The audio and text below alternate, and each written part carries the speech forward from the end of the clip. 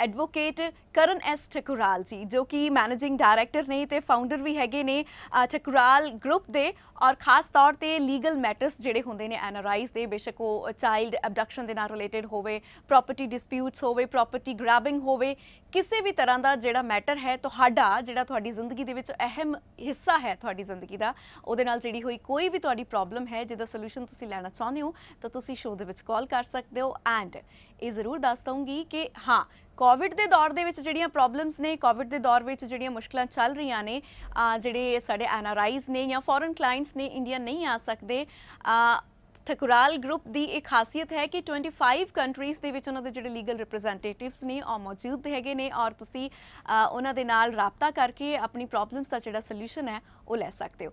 ਸੋ ਫਿਲਹਾਲ ਆਪਾਂ ਗੱਲ ਕਰਦੇ ਹਾਂ ਜੀ ਕਰਨ ਐਸ ਠਕੁਰਾਲ ਜੀ ਦੇ ਨਾਲ। ਸਰ ਬਹੁਤ ਬਹੁਤ ਸਵਾਗਤ ਹੈ ਜੀ ਤੁਹਾਡਾ। ਥੈਂਕ ਯੂ ਜੀ thank you very much Sat Sri Akal. ਜੀ ਸਰ ਸਭ ਤੋਂ ਪਹਿਲਾਂ ਤਾਂ ਮੈਂ ਤੁਹਾਡੇ ਤੋਂ ਇਹੀ ਜਾਣਨਾ ਚਾਹੂੰਗੀ ਕਿ ਕੋਵਿਡ ਦੇ ਦੌਰ ਦੇ ਵਿੱਚ ਜਿਹੜੇ ਐਨਆਰਆਈਜ਼ ਇੰਡੀਆ ਨਹੀਂ ਆ ਸਕਦੇ ਕੀ ਕਰ ਸਕਦੇ ਨੇ ਉਹ? ਦੇਖੋ ਜੀ ਕਿ ਜਿਹੜਾ ਇਹ ਕੋਵਿਡ-19 ਦੇ ਸਪਰੈਡ ਨਾਲ ਜਿਹੜੀ ਚੀਜ਼ ਆਈ ਹੈ ਉਹ ਇੱਕ ਦੇਖਿਆ ਜਾਏ ਤੇ ਐਨਆਰਆਈਜ਼ ਲਈ ਇੱਕ ਬੈਨੀਫੀਸ਼ੀਅਲ ਟਾਈਮ ਆਇਆ ਹੈ। ਇੱਕ ਡਿਜੀਟਲ ਐਰਾ ਜਿਹੜੀ ਇੰਡੀਆ ਵਿੱਚ ਲੈਕ ਕਰ ਰਹੀ ਸੀ ਸਟਾਰਟਿੰਗ ਵਿੱਚ now it has started specifically ਬਲਕਿ ਜਿਹੜੇ ਐਨਆਰਆਈ ਕਲਾਇੰਟੇਲ ਹੈਗੀ ਉਹਨਾਂ ਲਈ ਇੱਕ ਬੈਨੀਫੀਸ਼ੀਅਲ ਟਾਈਮ ਹੈ ਕਿਉਂਕਿ ਉਹ ਇੱਥੇ ਇੰਡੀਆ ਵਿੱਚ ਟਰੈਵਲ ਨਹੀਂ ਕਰ ਸਕਦੇ। ਤੇ ਇੰਪੋਰਟੈਂਟਲੀ ਜਿਹੜਾ ਵੀਡੀਓ ਕਾਨਫਰੈਂਸਿੰਗ ਜੇ ਥਰੂ ਜਿਹੜੀ ਹੀਅਰਿੰਗਸ ਹੁੰਦੀਆਂ ਸੀ ਕੋਰਟ ਹੀਅਰਿੰਗਸ ਹੁੰਦੀਆਂ ਸੀ ਜਿਹੜੀ ਕਿ ਪਹਿਲੇ ਇੱਕ ਡਿਫਿਕਲਟ ਇੱਕ ਨਿਊ ਚੀਜ਼ ਸੀ ਜੱਜਸ ਨਹੀਂ ਅਪਡੇਟਡ ਸੀਗੇ ਲਾਇਰਸ ਨਹੀਂ ਅਪਡੇਟਡ ਸੀਗੇ ਉਹ ਹੁਣ ਇੱਕ ਇੱਥੇ ਕਾਮਨ ਚੀਜ਼ ਬਣ ਚੁੱਕੀ ਹੈ। ਤੇ ਬੜੀ ਹੀ ਬੈਨੀਫੀਸ਼ੀਅਲ ਚੀਜ਼ ਹੈ ਉਹਨਾਂ ਨਾਲ ਵੀਡੀਓ ਕਾਨਫਰੈਂਸਿੰਗ ਦੇ ਥਰੂ ਐਨਆਰਆਈਜ਼ ਪਾਰਟਿਸਿਪੇਟ ਕਰ ਸਕਦੇ ਨੇ ਕੋਰਟ ਵਿੱਚ। ਉਹਨਾਂ ਲਈ ਇੱਕ ਬੈਨੀਫਿਟ ਹੀ ਬੈਨੀਫਿਟ ਚੀਜ਼ ਹੈਗੀ। ਇੰਟਰਿਮ ਐਪਲੀਕੇਸ਼ਨਸ ਬਹੁਤ ਜਲਦੀ ਇਮੀਡੀਏਟ ਹੀਅਰਿੰਗਸ ਮਿਲ ਰਹੀ ਹੈ। ਅੱਜ ਕੱਲ ਦੇਖਿਆ ਜਾਂਦਾ ਹੈ ਕਿ ਐਨਆਰਆਈਜ਼ ਨੂੰ ਪ੍ਰਾਪਰਟੀ ਡਿਸਪਿਊਟਸ ਕਰਕੇ ਪ੍ਰਾਪਰਟੀ ਦੇ ਰਿਲੇਟਡ ਕਾਫੀ ਜ਼ਰੂਰੀ ਉਹਨਾਂ ਦੇ ਕੇਸਿਸ ਚੱਲ ਰਹੇ ਹੁੰਦੇ ਨੇ। ਤੇ ਉਹਨਾਂ ਨੂੰ ਇਮੀਡੀਏਟ ਰਿਲੀਫ ਲਈ ਕभी ਕਈ ਵਾਰੀ ਐਪਲੀਕੇਸ਼ਨਸ ਫਾਈਲ ਕਰਨੀਆਂ ਹੁੰਦੀ- ਹੁੰਦੀਆਂ ਨੇ। ਨਿਊ ਕੇਸਿਸ ਫਾਈਲ ਕਰਨੇ ਹੁੰਦੇ ਨੇ ਜਾਂ ਜਿਨ੍ਹਾਂ ਦੇ ਪੈਂਡਿੰਗ ਹੈਗਾ ਉਹਨਾਂ ਨੂੰ ਐਪਲੀਕੇਸ਼ਨਸ ਲਗਾਉਣੀਆਂ ਹੁੰਦੀਆਂ ਅਰਲੀਅਰ ਕੋਵਿਡ ਤੋਂ ਪਹਿਲੇ ਜਦ ਵੀਡੀਓ ਕਾਨਫਰੈਂਸਿੰਗ ਅਲਾਉਡ ਨਹੀਂ ਸੀਗੀ ਤੇ ਕਾਫੀ ਟਾਈਮ ਲੱਗਦਾ ਸੀ ਵੀਕ ਵੀਕ 2 2 ਵੀਕਸ ਲੱਗਦੇ ਸੀ ਲੱਗ ਜਾਂਦੇ ਸੀ ਇੱਕ ਨਾਰਮਲ ਹੀਅਰਿੰਗ ਨੂੰ ਲੈਣ ਲਈ। ਪਰ ਹੁਣ ਇੱਕ ਇਮੀਡੀਏਟ ਹੀਅਰਿੰਗ ਮਿਲ ਜਾਂਦੀ ਹੈ। ਸੈਕੰਡਲੀ ਮੋਸਟ ਇੰਪੋਰਟੈਂਟ ਉਹ ਪਾਰਟਿਸਿਪੇਟ ਕਰ ਪਾਉਂਦੇ ਨੇ। ਹੀਅਰਿੰਗ ਵਿੱਚ ਅਸੀਂ ਉਹਨਾਂ ਨੂੰ ਲਿੰਕ ਸ਼ੇਅਰ ਕਰ ਦਿੰਦੇ ਨੇ। They can participate they can see ਕਿ ਕੋਰਟ ਵਿੱਚ ਕੀ ਹੋ ਰਿਹਾ ਹੈ ਜੱਜ ਕੀ ਆਬਜ਼ਰਵ ਕਰ ਰਿਹਾ ਹੈ। ਈਵਨ ਕਈ ਵਾਰੀ ਤੇ ਉਹ ਪਾਰਟਿਸਿਪੇਟ ਕਰਕੇ ਜੱਜ ਨੂੰ ਡਾਇਰੈਕਟਲੀ ਐਡਰੈਸ ਕਰ ਪਾਉਂਦੇ ਨੇ। ਤੇ। ਕਾਸਟ ਸੇਵਿੰਗ ਤੇ ਟਾਈਮ ਸੇਵਿੰਗ ਪ੍ਰੋਸੈਸ ਹੈ। ਬਹੁਤ ਹੀ ਹੈਲਪਫੁਲ ਹੈਗਾ ਐਨਆਰਆਈਜ਼ ਲਈ। ਜੀ। ਸਰ ਠਕੁਰਾਲ ਲੀਗਲ ਐਸੋਸੀਏਟਸ ਜਿਹੜੇ ਨੇ ਉਹ ਐਨਆਰਆਈਜ਼ ਦੀ ਹੈਲਪ ਕਿਵੇਂ ਕਰਦੇ ਨੇ? ਅਸੀਂ ਤੇ ਵੀ ਆਰ ਵੈਰੀ ਐਕਸਟੈਂਸਿਵਲੀ ਅਸੀਂ ਡੀਲ ਕਰ ਰਹੇ ਹਾਂ ਐਨਆਰਆਈਜ਼ ਤੋਂ ਤੇ ਐਨਆਰਆਈਜ਼ ਦੇ ਲੀਗਲ ਮੈਟਰਸ ਤੋਂ ਜੋ ਵੀ ਉਹਨਾਂ ਨੂੰ ਰਿਪਰੈਜ਼ੈਂਟੇਸ਼ਨ ਚਾਹੀਦੀ ਹੁੰਦੀ ਹੈ ਜੀ। ਤੇ ਸਪੈਸੀਫਿਕਲੀ ਡਿਜ਼ਾਈਨਡ ਜਿਹੜਾ ਅਸੀਂ ਜਿਹੜੀ ਸਟ੍ਰੈਟਜੀ ਰੱਖੀ ਹੋਈ ਹੈ ਕਿ। We are available for them 24/7 specifically 올 modes of communication ਕਿਉਂਕਿ ਟਾਈਮ ਡਿਫਰੈਂਸਸ ਹੁੰਦੇ ਨੇ ਯੂਐਸ ਇੰਡੀਆ ਕੈਨੇਡਾ ਦੇ। ਤੇ ਅਸੀਂ 24/7 ਇੱਕ ਤਰ੍ਹਾਂ ਦਾ ਐਸੋਸੀਏਟਸ 2-3 ਅਵੇਲੇਬਲ ਹੁੰਦੇ ਨੇ।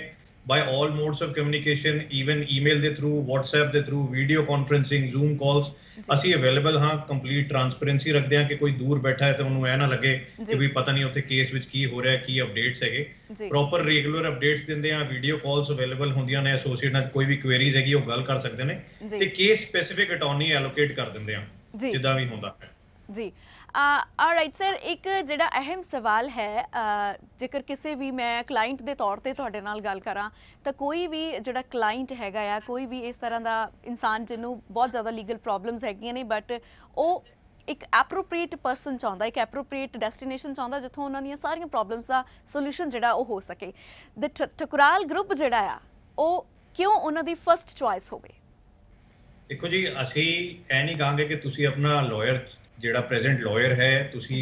ਉਹਨਾਂ ਨੂੰ ਛੱਡ ਕੇ ਸਾਡੇ ਕੋਲ ਆਓ unless and until you are facing a problem but ਅਸੀਂ ਜਿਹੜੀ ਸਪੈਸੀਫਿਕਲੀ ਅਸੀਂ ਡਿਜ਼ਾਈਨ ਕੀਤਾ ਆਪਣੀ ਲਾਅ ਫਰਮ ਨੂੰ ਇਸੇ ਕਰਕੇ ਕੀਤਾ ਕਿ ਜਿਹੜੇ ਲੋਕ ਬਾਹਰ ਰਹਿ ਰਹੇ ਨੇ ਫੋਰਨਰਸ ਹੈਗੇ ਐਨਆਰਆਈਜ਼ ਹੈਗੇ ਉਹਨਾਂ ਨੂੰ ਇੱਥੇ ਡੀਲਿੰਗਸ ਵਿੱਚ ਕੋਈ ਪ੍ਰੋਬਲਮ ਨਾ ਹੋ ਤੇ A to Z full service law firm ਹੈ ਸਾਡੀ।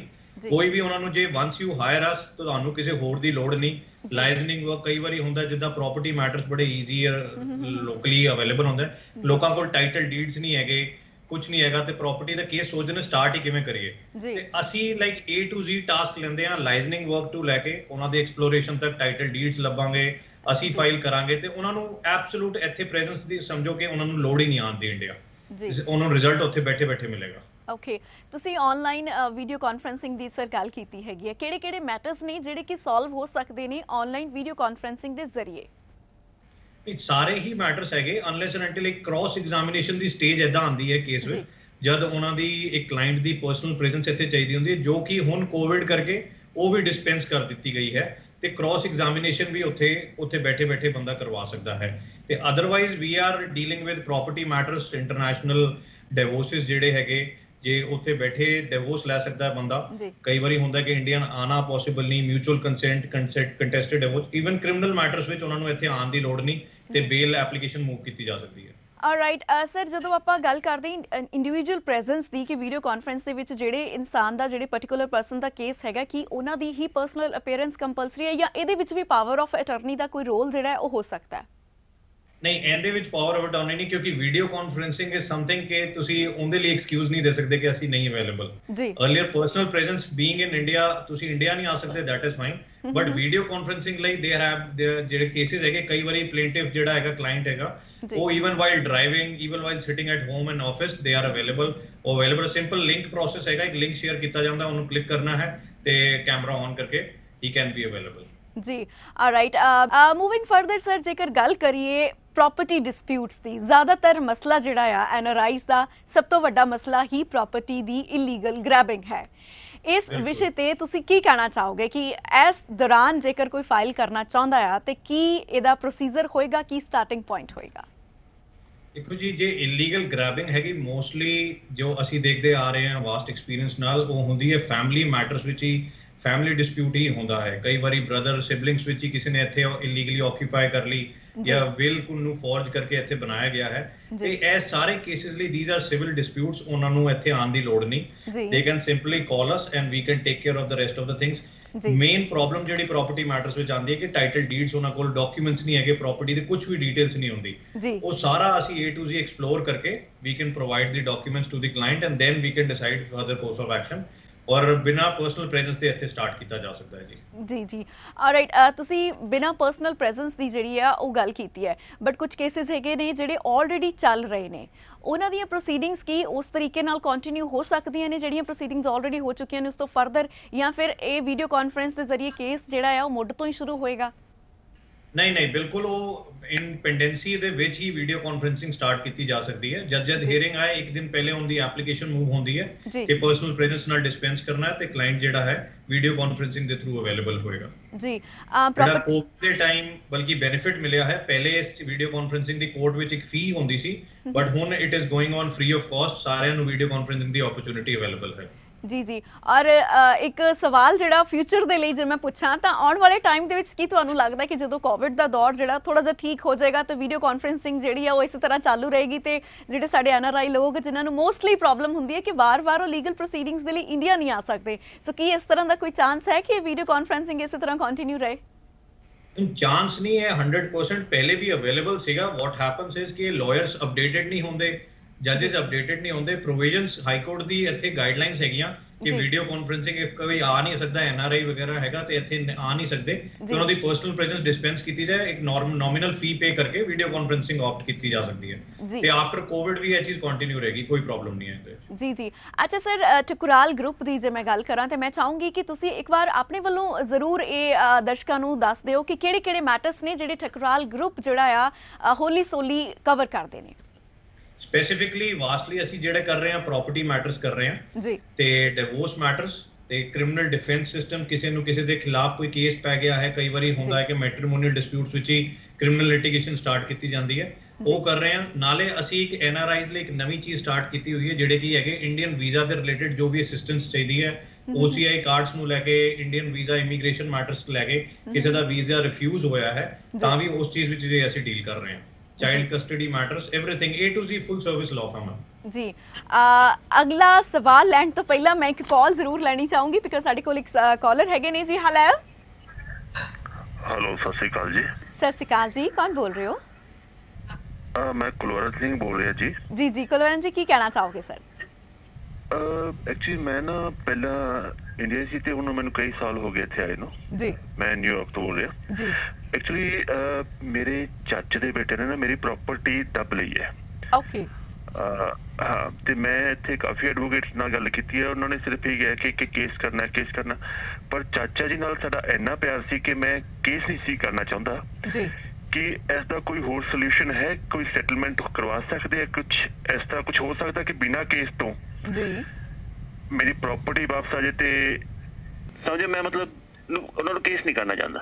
ਓਕੇ ਆ ਜੀ ਸਰ ਕੀ ਕਹਿਣਾ ਚਾਹੋਗੇ ਇਹਨਾਂ ਦੀ ਪ੍ਰੋਬਲਮ ਤੇ? ਤੁਸੀਂ ਇਹ ਲੀਗਲੀ ਤਾਂ ਨਹੀਂ ਆਪਣਾ ਰਾਈਟ ਲੈਣਾ ਚਾਹੁੰਦੇ ਬਟ ਇਹ ਚਾਹੁੰਦੇ ਨੇ ਕਿ ਸੈਟਲਮੈਂਟ ਦੇ ਜ਼ਰੀਏ ਇਹਨਾਂ ਦੀ ਪ੍ਰਾਪਰਟੀ ਜਿਹੜੀ ਇਹਨਾਂ ਨੂੰ ਵਾਪਸ ਮਿਲ ਜਾਏ ਕੀ ਇਹ ਪੋਸੀਬਲ ਹੀ ਹੈ? ਬਿਲਕੁਲ ਪੋਸੀਬਲ ਹੈ ਜੀ। ਕੀ ਨਾਂ ਦੱਸਿਆ ਸੀ ਇਹਨਾਂ ਨੇ? ਕੁਲਵੰਤ ਜੀ। ਜੀ ਕੁਲਵਰਨ ਜੀ ਨਿਊਯਾਰਕ ਤੋਂ ਸੀਗੇ ਇਹ। ਹਾਂ ਗੁਰਵੰਤ ਜੀ ਇਹਦਾ ਹੈ ਕਿ ਇਹਦੇ ਵਿੱਚ ਦੋ ਆਪਸ਼ਨਸ ਹੈਗੇ। ਇੱਕ ਇਨਫਾਰਮਲ ਪ੍ਰੋਸੈਸ ਕਹਿ ਸਕਦੇ ਹੋ ਤੁਸੀਂ ਪਰ ਅਸੀਂ ਇਹਨਾਂ ਨੂੰ ਇੱਕ ਤੁਹਾਡੇ ਜਿਹੜੇ ਚਾਚਾ ਜੀ ਹੈਗੇ ਉਹਨਾਂ ਨੂੰ ਇੱਕ ਪ੍ਰਪੋਜ਼ਲ ਨੋਟਿਸ ਭੇਜ ਸਕਦੇ ਹਾਂ ਕਿ ਵੀ ਵੀ ਆਰ ਅਵੇਅਰ ਸਾਨੂੰ ਪਤਾ ਹੈ ਕਿ ਵੀ ਸਾਡਾ ਸ਼ੇਅਰ ਹੈਗਾ ਜਾਂ ਤੁਹਾਡੀ ਤੁਸੀਂ ਇਦਾਂ ਇਦਾਂ ਇਹ ਚੀਜ਼ ਕੀਤੀ ਹੈ। ਤੇ ਅਸੀਂ ਤੁਹਾਨੂੰ ਇੱਕ ਓਪਰਚ्युनिटी ਦੇ ਰਹੇ ਹਾਂ ਕਿ ਵੀ ਤੁਸੀਂ ਇੰਨੇ ਟਾਈਮ ਦੇ ਵਿੱਚ ਵਿੱਚ ਸਾਡੇ ਨਾਲ ਬਹਿ ਕੇ ਔਨ ਦੀ ਟੇਬਲ ਇੱਕ ਸੈਟਲਮੈਂਟ ਕਰ ਲਓ। ਤੇ ਅਸੀਂ ਐਗਰੀਬਲ ਹਾਂ ਤੇ ਇਹਨੂੰ ਇੱਕ ਕੋਰਟ ਵੀ ਬੜਾ ਪੋਜ਼ਿਟਿਵਲੀ ਲੈਂਦਾ ਹੈ। ਕਿ ਤੁਸੀਂ ਲਿਟੀਗੇਸ਼ਨ ਵਿੱਚ ਜਾਣ ਤੋਂ ਪਹਿਲੇ ਕੇਸ ਜਾਣ ਤੋਂ ਪਹਿਲੇ ਇੱਕ ਪੋਜ਼ਿਟਿਵ ਸਟੈਪ ਲਿੱਤਾ ਤੇ ਤੁਸੀਂ ਸੌਰਟ ਆਊਟ ਕਰਨ ਦੀ ਕੋਸ਼ਿਸ਼ ਕੀਤੀ।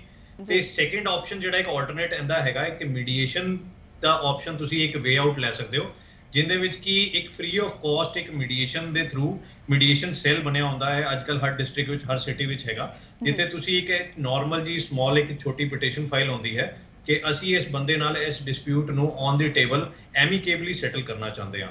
ਤੇ ਉਹਦੇ ਵਿੱਚ ਮੀਡੀਏਸ਼ਨ ਸੈੱਲ ਇੱਕ ਜਿਹੜੇ ਕਿ ਪ੍ਰੋਪਰਲੀ ਟ੍ਰੇਨਡ ਪ੍ਰੋਫੈਸ਼ਨਲ ਮੀਡੀਏਟਰਸ ਹੁੰਦੇ ਨੇ। ਉਹ ਅਪਾਇੰਟ ਕੀਤੇ ਜਾਂਦੇ ਨੇ ਤੇ ਉਹ ਇਹਨਾਂ ਨੂੰ ਨੋਟਿਸ ਦੇਣਗੇ ਉੱਥੇ ਆਉਣ ਲਈ।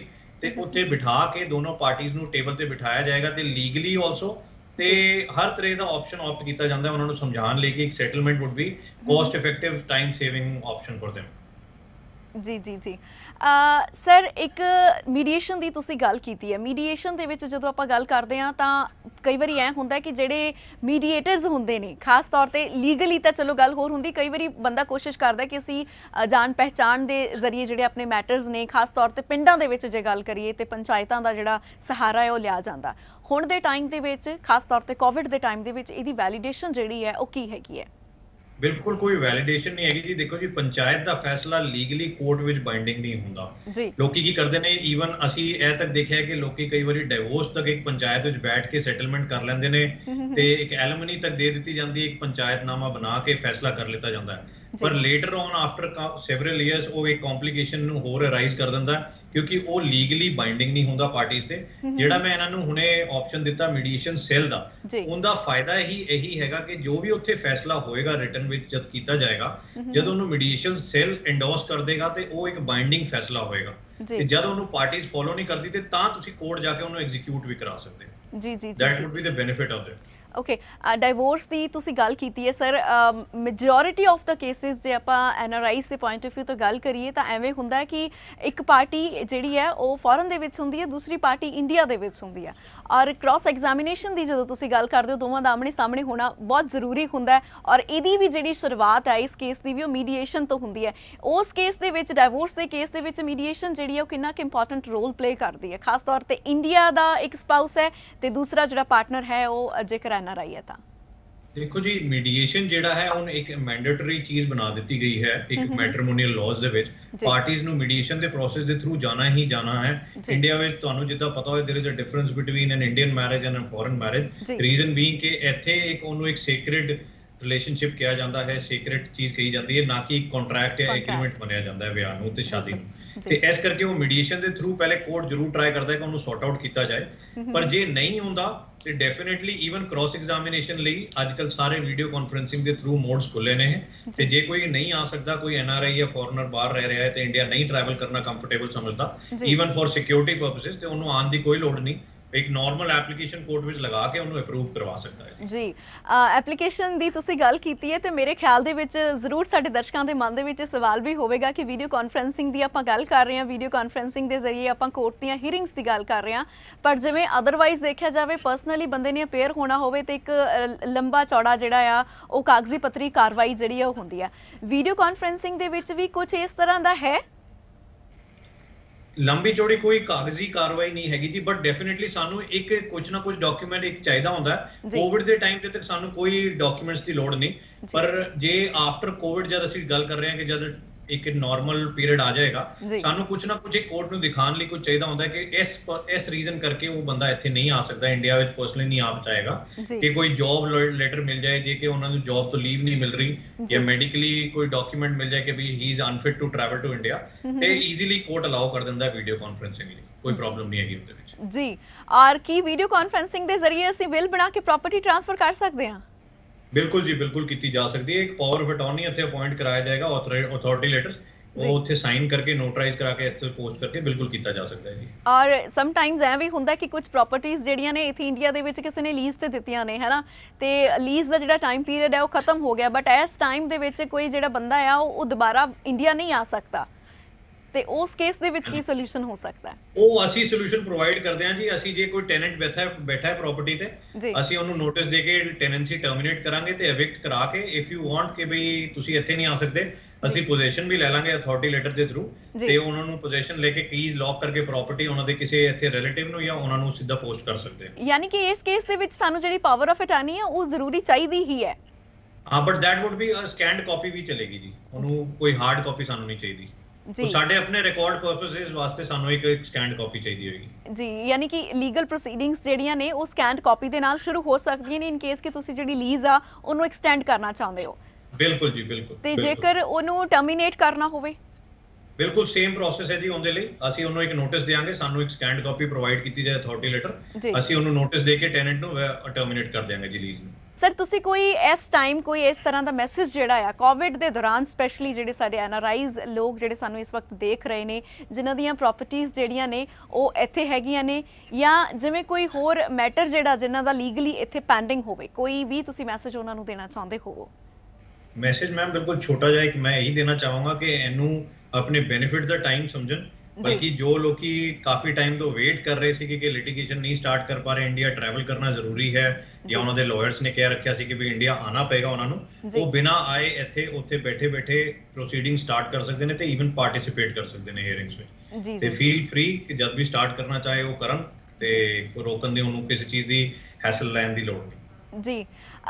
Sir thank you so much ਅੱਜ ਦੇ ਸ਼ੋਅ ਦੇ ਵਿੱਚ ਸਾਡੇ ਨਾਲ ਜੁੜਨ ਦੇ ਲਈ ਬਹੁਤ ਬਹੁਤ ਸ਼ੁਕਰੀਆ ਤੁਹਾਡਾ ਕਰਨ ਸਰ। ਅੱਜ ਦੇ ਸ਼ੋਅ ਦਾ ਹਿੱਸਾ ਬਣਨ ਲਈ। ਥੈਂਕ ਯੂ ਥੈਂਕ ਯੂ ਜੀ।